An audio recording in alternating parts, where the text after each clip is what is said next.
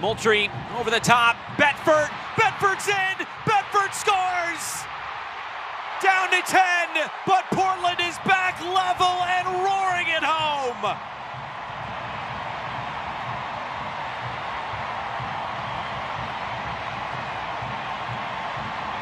A great run from Betfort in behind. Moultrie notices that it's a 2v2 situation, and before O'Sullivan could get over to that side of the field, Moultrie loses the ball, watches this ball, just goes for it as quickly as it possibly can because Portland wants to find North Carolina on their heels. As soon as Moultrie receives that ball, Betfort knows that Berkeley is just keeping her eyes on the ball, so the space is behind the center back, who has nobody behind her. Betfort gets completely free, and just to hit it with her outside of her foot, finds side netting where Murphy can't get to the ball because she's covering near post.